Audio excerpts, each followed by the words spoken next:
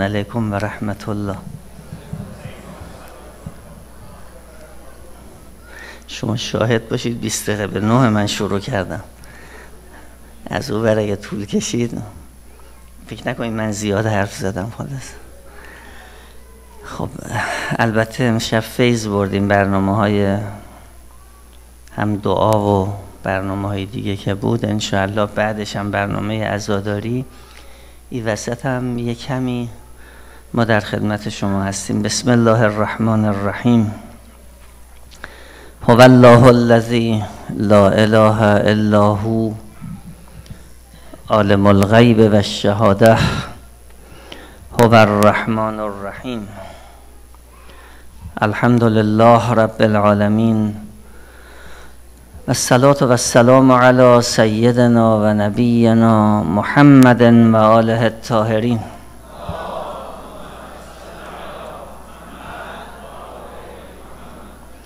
سیما بقیت الله المهدی ارواحنا له الفدا. بارلاها به آنچه رضای تو بران است ما رو موفق بدار. از آنچه ناخشنودی ما رو برحضر کن. در گذر عمر و باقی مانده عمر لحظه ای ما رو به خود وا مگذار عاقبت امور ما ختم به خیر بفرما. به پیشگاه مقدس مولا الموحدین امیر المؤمنین سلام الله علیه و سالار شهیدان و شهدای کربلا ده سلوات رو تقدیم کنیم با یک سلوات بلند.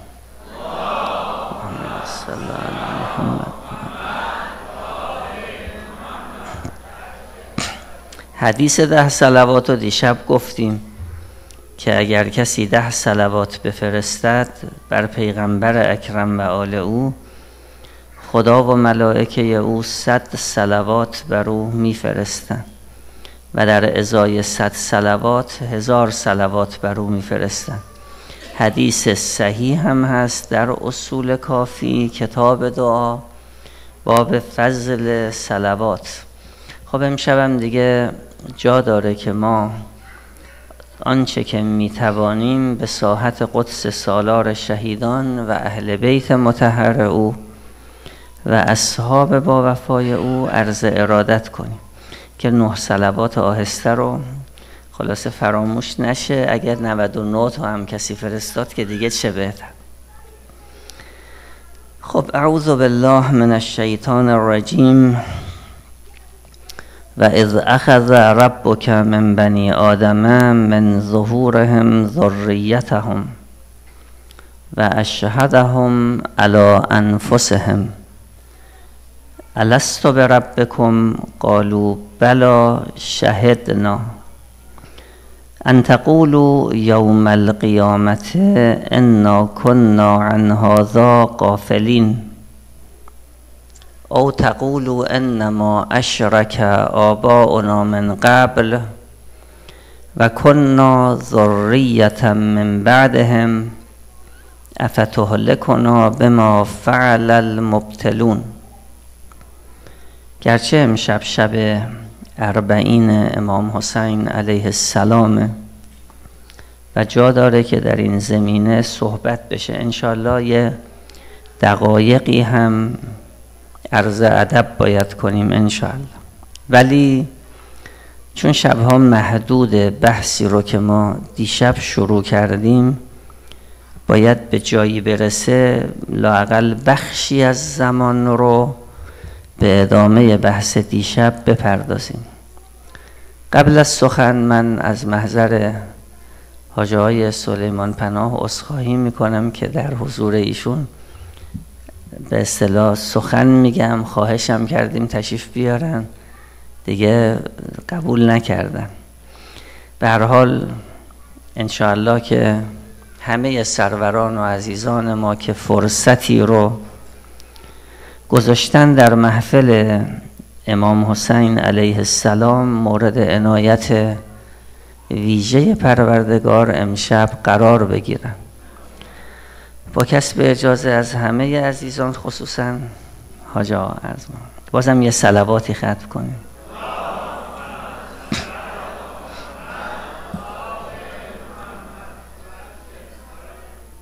به لحاظ اینکه امشب جمعی تشریف دارن که دیشب نبودن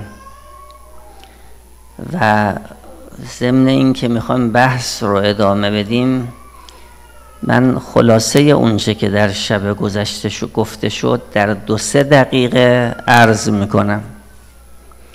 بحث ما درباره معارف دینی عرض کردیم که از توحید نشأت می‌گیره و توحید هم با معرفت الله شروع میشه. اول الدین معرفته. سوالی مطرح شد. که آیا ما خدا را می‌شناسیم یا می‌توانیم بشناسیم؟ گفتیم که یه بحث چالشی بوده در تاریخ اسلام. بعضی ها می‌گفتن ذات خدا را نمی شود شناخت. بعضی از بزرگان هم معتقد بودند که اگر شناخت امکان نداشته باشه عبادت هم نمی شود عبادت مجهول مطلق محاله. دعا هم نمیشه ارتباط غیر ممکنه. ما حاصل بحث این شد که ما خدا را می‌شناسیم. منتها متفاوت با شناختی که نسبت به اشیاء داریم. ما اشیاء رو به کم و کیف می‌شناسیم. به چیستی؟ در ذات احدیت چیستی راه ندارد.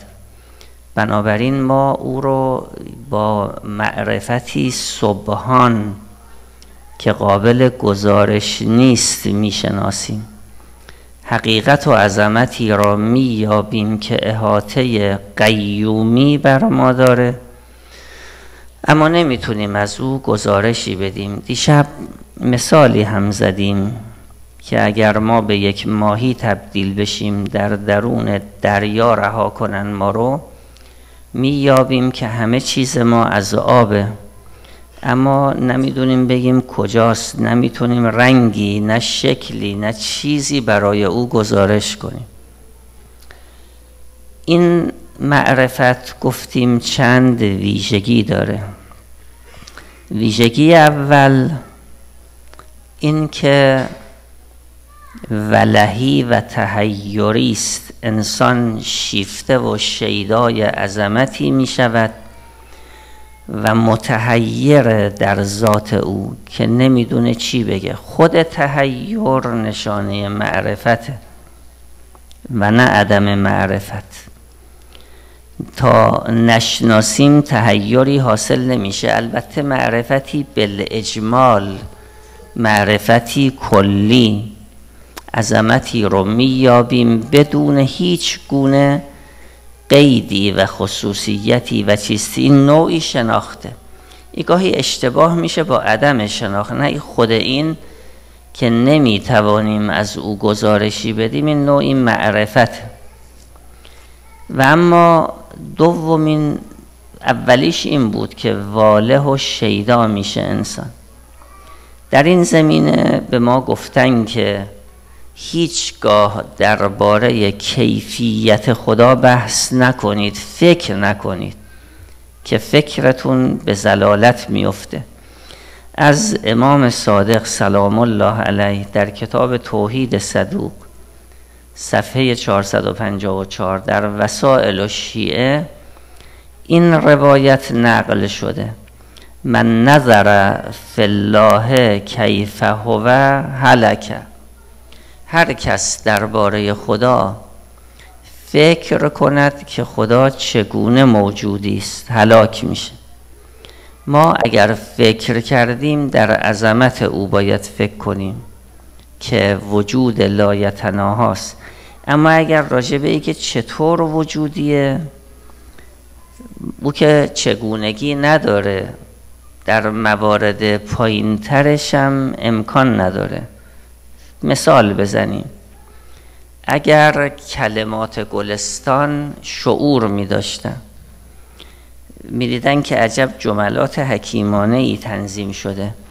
میفهمیدن یه خالقی دارن یه نویسنده ای می‌تونستن بفهمن نویسندهشون چطور موجودیه. او در یه بعد دیگری است اونا در یه بعد دیگری. تازه این مثال ضعیفه. تازه سعدی چیستی داره و اونا نمی‌تونن بفهمن.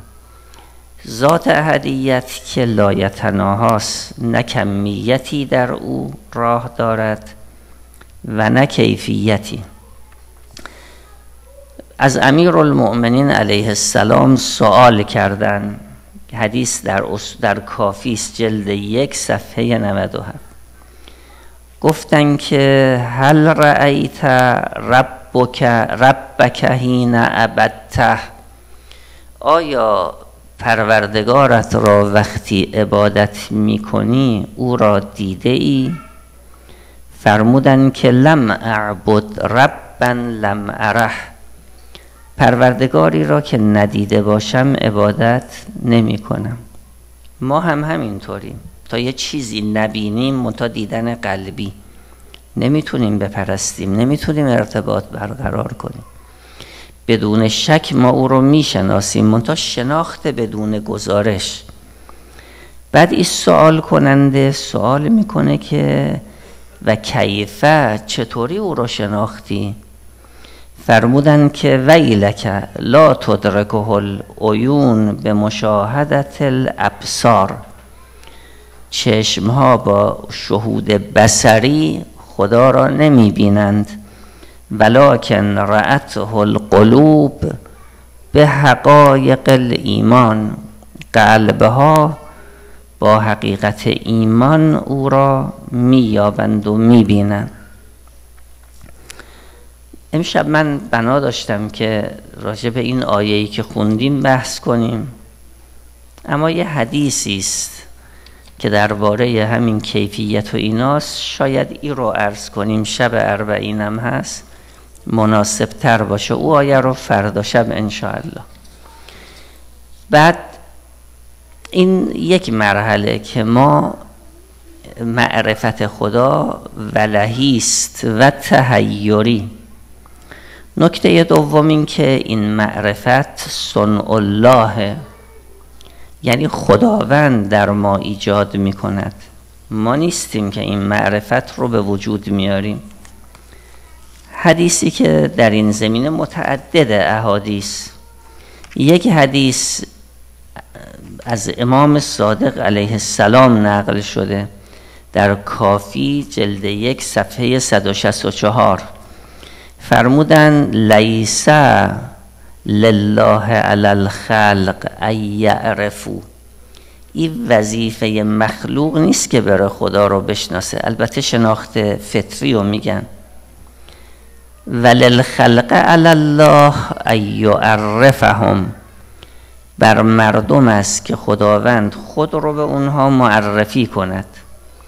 ولله علی الخلق اذا عرفهم ایقبلو ولی اونی که وظیفه خلایق اینه که وقتی خدا خودش رو معرفی کرد اینها قبول کنند. در یه روایت دیگه داره که بندگی کنند. وقتی خدا را شناختن او چنان خود رو در وجود ما به ما نشون داده که این آیهی که خوندم معناش همینه. که انشالله رو بحث می‌کنیم.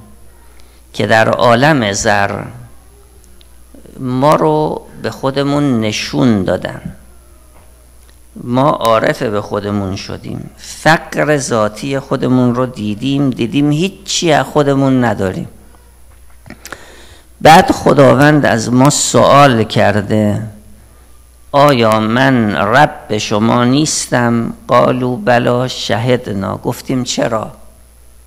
دیدیم که تو رب مایی رب یعنی مالک مدبر. به ما نشان دادند که همه چیز ما اوست و ما هیچی از خودمون نداریم. چراغ اگر ارتباطش با منبع مولد قطع بشه خاموش میشه ولی چراغ وجود داره. کمال ازش گرفته میشه. اگر نور چراغ نه خود چراغ. ارتباطش با منبع مولد قطع بشه چه اتفاقی میفته؟ وجودی نداره. رابطه ما با خدا مثل رابطه نور چراغ با منبع مولد. یالا اگر او نباشه او دائما وجود رو به ما القاء می‌کنه. حالا اگر به نور چراغ نشون بدن که چه وجودی است می‌بینه که هیچ چیزش مال خودش نیست. لحظه به لحظه وجودش داره اعطا میشه به او. او وقت رب خودش رو مییابه.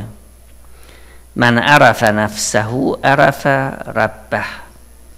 کسی که خود رو بشناست خدا رو می‌شناسه. یعنی ببینه هیچی از خودش نداره.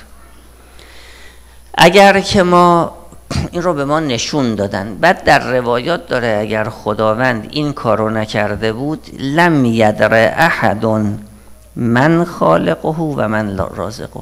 هیچ کس نمی‌تونست راهی به خدا پیدا کنه. اگر او خودش رو تو وجود ما قرار نداده بود. خورشید نورش رو به ما میرسونه وگرنه ما نمی‌تونستیم بریم او رو پیدا کنیم. معرفت رو او به ما القا کرده. این معرفت قابل شدته. شدت این معرفت رو هم خداوند برای ما ایجاد می‌کنه ولی ما باید زمین سازی کنیم. این بحثا رو به اجمال من دیشب عرض کردم هنوز خیلی جای سخن داره. حالا می‌خوام یک روایت رو عرض کنیم در این زمینه. در بهار جلد سی و شیشم البته جلد شست و هفتم باز هست جاهای دیگه هم این روایت اومده. یونس ابن زبیان میگه من اومدم به خدمت امام صادق علیه السلام. گفتم که من رفتم به مجلس درس مالک و اصحاب او. انی دخلت علی مالک و اصحابه و عنده جماعت یتکلمون فی الله. ادهی بودن درباره خدا حرف می زدن گفتن بعضیاشون می‌گفتن فسمعت بعضهم یقول ان ان لله وجها کالوجوه. می‌دونید که در معارف بعضی از فرق اهل سنت برای خداوند تجسیم قائلند یعنی نوعی مثلا جسمیت و دست و پا و اینا. و میگن در قیامت خداوند دیده میشه. میگه من شنیدم که بعضی از اینها میگن ان لله وجها کالوجوه. بعضیاشون میگن که لهو یدان خداوند دو دست دارد. به این آیه شریفه احتجاج می‌کنن که خدا به ابلیس فرمود چرا استکبار کردی؟ ما منعک ان تسجد لما خلق تو به یدی. با دستانم او را آفریدم. بعضیاشون میگن هو کشاب من ابناء ثلاثین سنه. خداوند چهره حدود سی ساله دارد. فما عندک فی هازا یبن رسول الله. شما نظرتون چیه؟ بعد داره که حضرت تکیه داده بودن. فستوا جالسا مثل که عصبانی بشن پا شدن دو زانو نشستن. گفتن که اللهم افوک افوک. خدایا ببخش. ما عرفو که حتی شبهو که به خلقک. تو را نشناختن تا جایی که تو رو به خلق تشبیه کردن. بعد توضیح دادن. فرمودن که یا یونس من زعم ان لله وجها کالوجوه فقط اشرک بالله. کسی که فکر کند خدا چهره ای دارد مثل آدمایی شرک ورزیده. و من زعم ان لله جواره که جواره المخلوقین. کسی که فکر بکنه خدا دست داره پا داره فهو کافرون بالله. این اصلا اعتقاد کفره. لا تقبلو شهادته ولا تأکلو ذبیحته دیگه شهادتش رو قبول نکنید زبیحه او رو هم نخورید اگه گوسفندی رو ذبح کرد. تعالی الله اما یصفه المشبهون به صفت المخلوقین. متعالی است خداوند از آن که او را به صفت مخلوقین وصف کنند. فوجه الله انبیاءه و اولیاءه. ای که خدا وجه داره وجه خدا انبیا و اولیاء خدا هستند که قرآن میگه. و اینکه خداوند فرموده خلق تو به یدی الید القدره. ید در اصل لغت به معنای قدرته. دست چون مظهر قدرت بهش ید گفته میشه. که تعالی و ایدکم به نصره. خداوند به مسلمون ها میگه که خدا شما را با نصرت خود معید کرد بهتون ید داد. این ید رو که داشتن یعنی قدرت داد. فمن زعم ان الله فی شیء او علا شیء او یحول من شیء الى شیء کسی فکر کنه خدا داخل یه چیزی است یعنی یه جای خاصی داره. داخل همه جا هست اما نه اینکه یه مکان خاصی داشته باشه. یا روی یه جایی نشسته. یا حالی به حالی می شود. او یخلو منه مکان. یا جایی هست که خدا نباشه. مثلا خدا فقط در آسمونا باشه اینجا نباشه. ولا یشقل بهی مکان. او یخلو منه شیء او یشقل بهی شیء فقط وصفه به صفت المخلوقی. این خدا رو به صفت مخلوقین توصیف کرده. والله خالق کل شیء. او خالق همه چیز است. لا یقاس بالقیاس. با هیچ چیز مقایسه نمی شود ولا یشبه بالناس. به مردم شبیه نیست که ما بخوایم خدا رو به مردم تشبیه کنیم. لا یخلو منه مکان. هیچ مکانی نیست که خدا در او نباشد. ولا یشقل بهی مکان. هیچ مکانی هم به وسیله خدا اشغال نمی شود. حالا مثال ضعیفش این آب رو و شیشه رو در برابر نور قرار بدید. تمام جایی که این آب هست نورم هست. اما هیچ جایی رو هم اشغال نمی‌کنه. قریب فی بعده در دوری نزدیک است. بعید فی قربه در عین نزدیکی دور است. تعابیر دقیقه. یعنی او از همه چیز به ما نزدیکتره. بر ذرات وجود ما احاطه داره. اما بخوایم تصور بکنیم به شیء خاصی نمیشه. ذالک الله ربنا لا اله غیره این است. خدای ما هیچ معبودی به جز او نیست. فمن اراد الله و احبه و وصفه به هذه الصفه کسی که خدا را بخواهد و او را دوست بدارد و این گونه که من گفتم وصف کند فهو من الموحدین. این آدم موحده.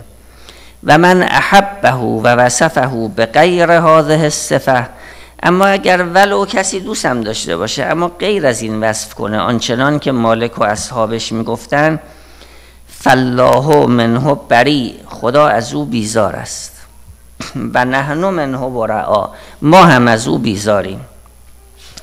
بعد یه جمله چند سطر معرفتی داره این حدیث.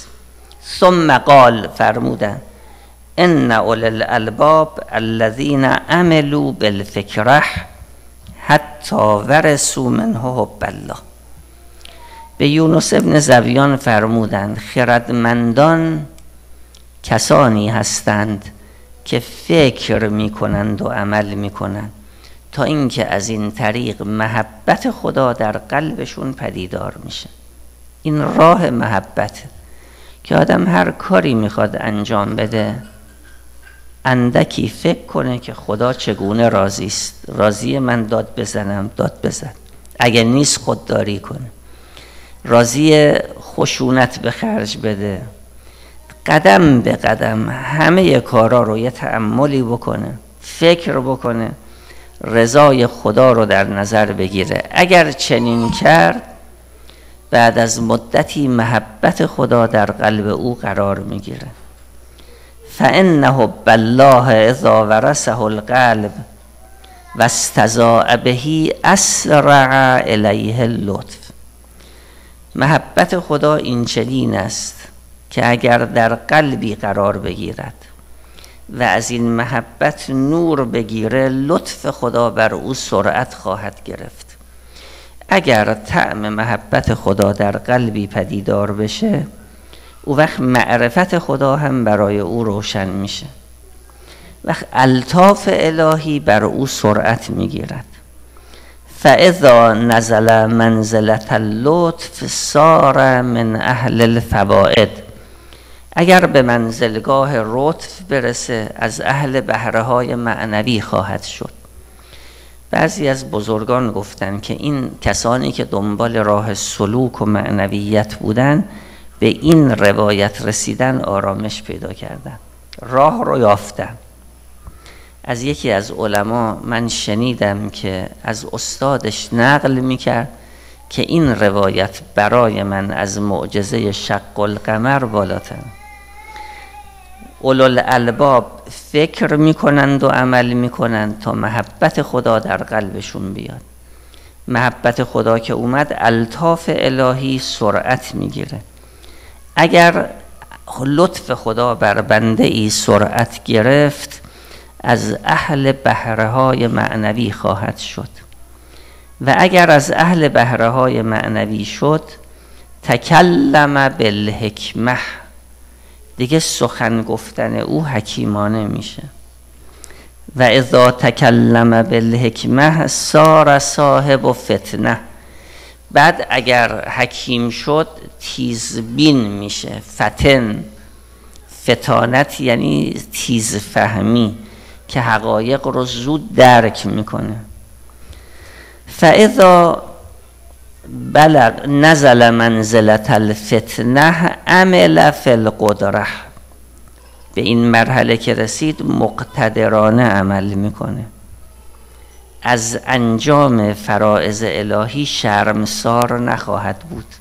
از دینداری خودش خجالت نمی‌کشه ولو تنها باشه در عالم. عمل فی القدره فاذا عمل فی القدره عرف الاطباق السبعه او وقت مدارج هفتگانه رو می‌شناسد. فاذا بلغ هذه المنزله اگر کسی این راه رو طی کرد سار یتقلب فی فکرهی او فی ذکرهی به لطف و حکمت و بیان. خداوند یه عنایت دیگری به او می‌کنه. لطیف میشه و حکیم و روشنبین. فاذا بلغ هذه المنزله کسی که به این درجه رسید جعل شهوته و محبته فی خالقه. شهوات نفسش و محبتهای قلبش رو فقط در مسیر خدا به کار می‌گیره. دیگه بنده شهوت نخواهد بود. قلب او قلب خدایی خواهد بود. فاذا فعل ذلك اگر چنین کرد نزل منزلت الکبرا فآین ربه فی قلبه. به یک منزلگاه بزرگتری راه پیدا می‌کنه. پروردگارش رو در قلبش میابه رو در رو می‌بینه. در یه روایتی در زیل همون آیه میساق از امام صادق علیه السلام سوال می‌کنه. اون موقعی که بندگان خدا در عالم زر شهود کردن معاینتا کان رو در رو خدا رو دیدن منتها دیدن قلبی. فرمودن که بله. فآین ربه فی قلبه. این همون معرفتی است که دیشب ازش مفصل صحبت گفتیم. یعنی خدا رو که انهو می‌بینه ما با چشم می‌بینیم چه اتفاقی میفته یعنی اشیاء رو درک می‌کنیم خصوصیاتشون رو. حالا اگرم خصوصیتی نباشه ادراک می‌کنیم. قلب هم همین اتفاق براش میفته چنان یه حقیقتی رو مییابد که از نگاه چشمی بالاتره. فآین ربه فی قلبه. پروردگارش را در قلبش مییابد. و ورث الحکمه به غیر ما ورثه العلماء. کسی که از راه محبت خدا رفت از راه فکر و محبت. و به این مقامات رسید حکمت رو به دست میاره نه از طریقی که حکما رفتن. و ورث العلم به غیر ما ورثه العلماء علمی به او عطا می کنند نه آنچنان که علما به علم می‌رسند. و ورث الصدق و ورث الصدق به غیر ما ورثه الصدیقون. مقام صدق رو بهش میدن اما نه از او راهی که صدیقین رفتن. ان الحکما ورث الحکمت به سم ادعی با سکوت به حکمت می‌رسن. این اثر کم سخنی است. و ان العلماء ورث العلم به طلب علما درس می‌خونن تا عالم میشن. و ان ال و ان الصدیقین ورث الصدق بالخشوع و طول العباده ادعی هم با خشوع و طول عبادت به صدق می‌رسن. اینا همه رو بهشون میدن از طریق محبت خدا. البته اونایی که محبت هست می‌کنن اهل عمل هم هستن اهل خشوع هم هستن اهل زحمت کشیدن هم هستن. ولی از این راه بهشون میدن. بعدم در ادامه حدیث میگن البته اینا هنوز در معرض امتحانن. یا بازم بالاتر میرن یا ممکنه سقوط کنن. یعنی امتحان تمام نمیشه. یعنی باب معرفت و محبت تا جایی بازه که نمیشه فکرشو کرد. مردم درگیر دنیا هستن. او ور قضیه رو نیومدن بچشن ببینن چه خبره. اگر کسی بیاد تو وادی معرفت خدا و محبت خدا یه جورایی دیگه میشه. در خطبه متقین داره امیر المؤمنین علیه السلام اینا جوری هستن که یقولون قد خولتو. اونایی که درکشون نمی‌کنن میگن قاطی کرده. ولقد خالت القوم امر عظیم. بله اینا با یه امر دیگری مخلوط شدن سرگرم شدن. دیگه دنیا در چشم اینها کوچیک میشه. بعد قسمت سوم حدیث اینه جالبه. فرمودن که یا یونس اذا اردت العلم الصحیح. بعد که این حرفا رو زد. او گفت رفتم مالک این حرفا رو می‌زدن خدا رو تشبیه می‌کردن. حضرت این معارف رو که براش گفتن فرمودن که اگر علم صحیح می‌خوای فاندنا اهل البیت فقط پهلوی ما خاندانه. و انا ورثنا این علم خدا به ما داده. و اوتینا شرع الحکمت و فصل الخطاب به ما مقام تشریع حکمت دادن. به ما مقام فصل الخطاب دادن که کلمه ما کلمه آخره. سوال می‌کنه یونس میگه من پرسیدم که یبن رسول الله کل من کان من اهل البیت ورث کما ورث همه خاندان پیغمبر به این علم می‌رسن من کان من ولد علی و فاطمه صلوات الله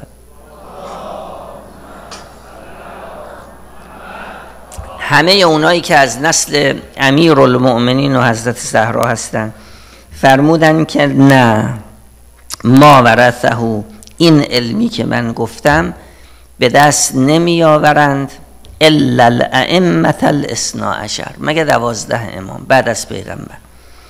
گفتم که گفتم که سمهم لی یبن رسول الله. نام اینها رو برای من بفرمایید. فرمودن که اولهم علی ابن ابی طالب. سلام الله علیه. و بعده الحسن و الحسین. و بعده علی ابن الحسین. و بعده محمد ابن علی ثم انا. تا خودشون رسیدن. و بعدی موسا ولدی. بعد از من پسرم موسی ابن جعفر. و بعد موسا علی ابنه. بعد از او علی ابن موسی رضا سلام الله علیه و بعد علی محمد ابنه بعد محمد ابن علی الجواد و بعد محمد ابن محمد علی ابنه بعدش علی ابن محمد الهادی و بعده الحسن بعد امام عسکری سلام الله الحسن و بعد الحسن الحجه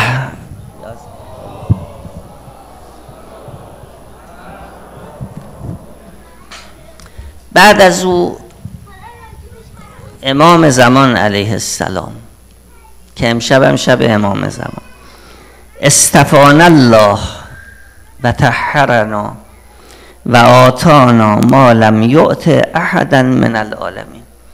خداوند ما را برگزید. و ما را پاک کرد و چیزهایی به ما داد که به احدی در عالم نداد. خب امشب شب شنبه هم هست ضمن اینکه شب اربعینه. حالا تو همین زمینه این علوم معنوی یه داستانی رو نقل کنیم. من این داستان رو دبیرستان بودم.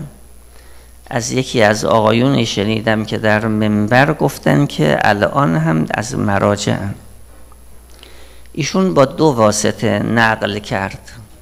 از استادشون و استادش از استاد که البته او زمان من خب دبیرستان بودم اسم اساتید رو دقت نکردم. ولی داستان یادمه. میفرمودن که استاد استاد ما که از مراجع زمان بود گفتن که من شبی یا روزی در خانه بودم در زدم. پا شدم رفتم دم در. حالا معمولا کسانی که خب شخصیتی هستن خودشون در رو باز نمی‌کنن. رفتم دم در دیدم یه جوان روستایی سلام علیک کرد و گفت که آقا من اومدم درس بخونم. گفتم که بفرمایید. اومد تو و باش قرار گذاشتیم که مثلا فردا ساعت هشت بیاد. خود تو چی خوندی؟ هیچی. می‌خوام از اول شروع کنم. دیگه اومدن. ما هم از جامع المقدمات شروع کردیم. از الف با. خیلی عجیبه. ازش هم نپرسیدیم تو کی هستی؟ از کجا اومدی؟ چرا در خونه من اومدی؟ اصلا متوجه این حرفا نبودم. می اومد و مدتها درس می‌خوند. بعد مدتی یک روز به ذهن من رسید که این آقا رو کی فرستاد در خونه ما؟ چی شد که من قبول کردم؟ همین تو ذهن من رو گرفته بود. فردا که آمد گفتم یه سوال از شما دارم. کی به شما گفت بیای در خونه من؟ اون روزی که اومدی چی شد که در خونه من اومدی؟ گفت والا من یه رفیقی دارم دوستی دارم. او به من گفت بیام در خونه شما. گفتم دوست تو کیه؟ از کجا باش دوست شدی؟ گفت داستانی داره. خب داستانش شما چیه؟ گفت که من پدرم عالم روستا بود. فوت کرد. مردم اومدن اطراف ما رو گرفتن گفتن ولد العالم نصف العالم. امامه پدر رو سر ما گذاشتن لباس پدر رو به تن ما کردن. گفتم خب تو باریس نماز بخونو اول استنکاف کردم که بابا من چیزی نمی‌دونم من درس نخوندم. گفتن دیگه شکست نفسی نکن. ما هم بعد موندن اومد قبول کردیم. مدتها گذشت مردم مسئله میپرسیدن. اگه چیزایی رو از پدرم شنیده بودم می‌گفتم بلدم نبودم بد بود بگم بلد نیستم. یه چیزی جواب می‌دادم. خب از او برم اموال حقوق شرعی رو می آوردن من می‌گرفتم و وضعم هم خوب شد. خونه ای و باقی و یه روز یه دفعه به خودم اومدم. حالا شاید رفتم دم آینه وضعیتم رو دیدم. به خودم گفتم بدبخت تو چه می‌کنی با خودت؟ با دین خدا بازی می‌کنی؟ یه دفعه تصمیم گرفتم ببینید کار بزرگی است. یک دفعه آدم از همه دنیای خودش بگذره. مردم رو جمع کردم. گفتم روز اول من به شما گفتم من چیزی نمی‌دونم شما از من نپذیرفتی الان واقعیت رو دو دفعه می‌خوام براتون بگم. مسائلی که از من پرسیدید برید یک عالمی بیارید از نو بپرسید.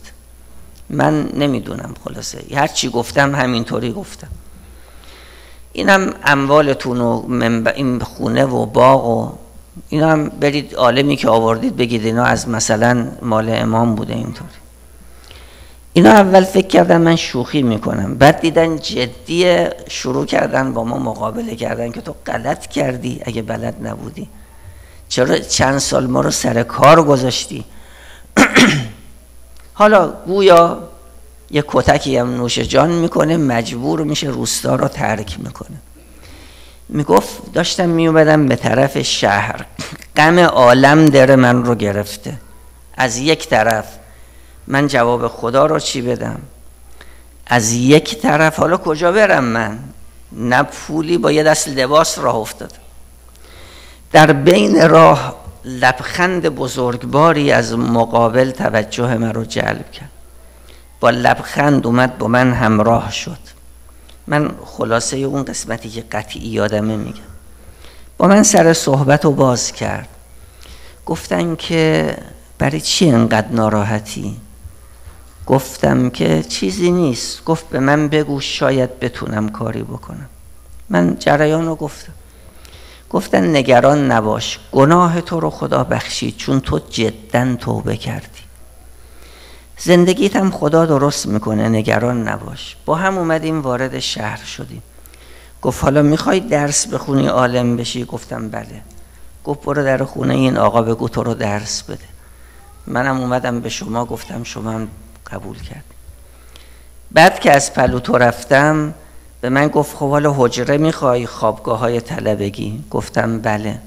ما رو برد دم مدرسه گفت آقای فلانی مسئوله. برو بهش بگو به تو حجره بده. من رفتم آقای فلانی که یه نشونم دادن. گفتم من یه حجره می‌خوام طلبه هستم دارم درس می‌خونم.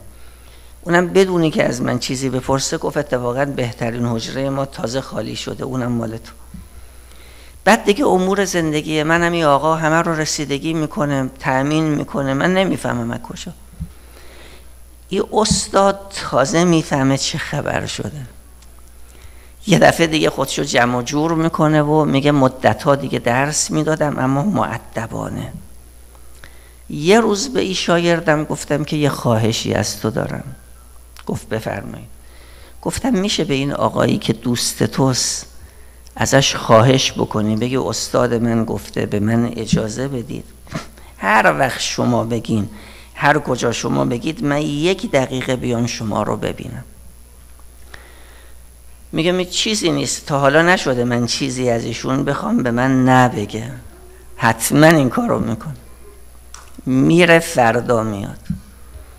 فردا وقتی وارد میشه می‌بینه حال این متغیر شده. یه جورایی دیگه است. میگه چی شده؟ میگه تو باعث شدی که من فهمیدم چه گوهری به دست آوردم. دیروز وقتی رفتم پیام تو رو به آقا بگم قبل از اینکه لب به سخن باز کنم برای اولین بار یک نگاه تندی به من کرد. اجازه سخن به من نداد. بعد به من گفت که به استادت بگو کاری که این جمله رو من دقیق یادم نیست از جای دیگه شنیدم. شاید این جمله باشه. کاری که تو کردی او بکنه ما میایم دیدنش. یا شاید مثلا اگر اختضا کنه ما میایم دیدن لازم نیست او بیاد. می‌گفت دیگه حرف تمام شد و یه چند وقت دیگه هم برادرس می اومد یک روز که میگن علمی خدا میده از طریق محبت که از طریق اکتساب به دست نمیاد. قلب اهل معرفت رو خدا روشن می‌کنه. میگه یه روز دیدم در می‌زنن. رفتم دم در دیدم همین جوانه. گفتم بفرمایید. تو گفت نه. یک نفر از یاوران حضرت از دنیا رفته. به من دستور دادن جای او برم مشغول معموریت های او بشم. دیگه نیازی هم به علم شما نداریم. هرچی لازم بود به ما یاد دادن. گفت این رو گفت گفتم حالا بیایید تو دیدم هیچ کس نیست. این رو من از آیت الله وحید شنیدم اون موقع منبر می‌رفتم. ایشون با دو واسطه نقل کردن. گفتن من از استادم چون تردید دادم نمیگم. و او از استادش که این جریان برای او اتفاق افتاده بود. یعنی خیلی واسطه محدود است و کم. اینو من خودم شنیدم این داستان. اگر کسانی وارد باب معرفت و محبت خدا بشن چون نتیجه معرفت محبت الحب فرع المعرفه. اگر کسی خدا رو شناخت محبت پیدا می‌کنه. محبت نتیجهش اینه. چطور محبت دنیا مردم رو به دنیا میرسونه؟ محبت خدا هم مردم رو به وسال خدا می‌تونه برسونه. الحب و فرع المعرفه. اگر کسی اومد تو ای وادی خیلی چیزا بهش میدن منتها چه کنیم که بنده غرق ارتباط با دنیا هستم؟ مردم چرا دنیا رو دوست دارن؟ چون دنیا رو می‌شناسن زیبایی های دنیا رو می‌شناسن. اگر کسی جمال نورانی امام زمان رو بشناسه می‌تونه دل نبنده. اگر کسی اون جلالت خدا رو معرفت پیدا بکنه می‌تونه خدا رو دوست نداشته باشه. به میزان معرفت محبت تو قلب آدم میاد. یه کمی باید از محبت های دنیا جدا شد تا محبت های خدایی رو انشاءالله درک کنیم. اصحاب امام حسین چه کردن؟ امیر المؤمنین علیه السلام در وصف اونها فرمود اشاق الموت اینا وقتی امام حسین رو دیدن با دنیا کاری نداشتن. نقل می‌کنن که در روز قیامت شهدای کربلا بی حساب بهشون میگن بیایید برید به بهشت. می‌بینن نمیرن. وایستادن نگاه می‌کنن.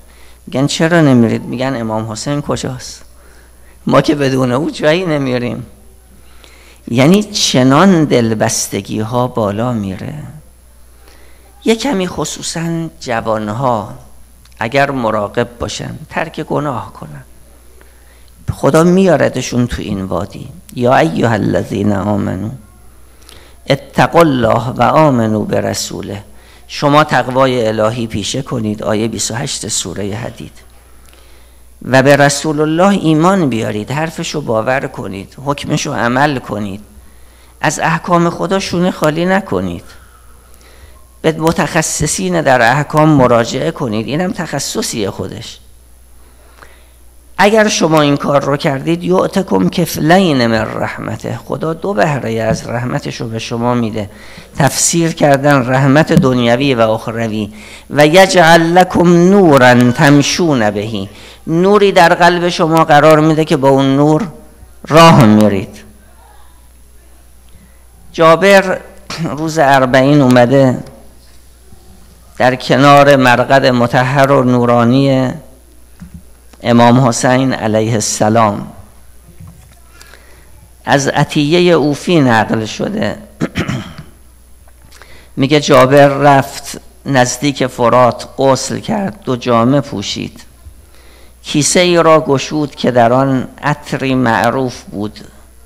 سعد خود رو با این عطر خوشبو کرد. بعد اومد کنار قبر امام حسین علیه السلام.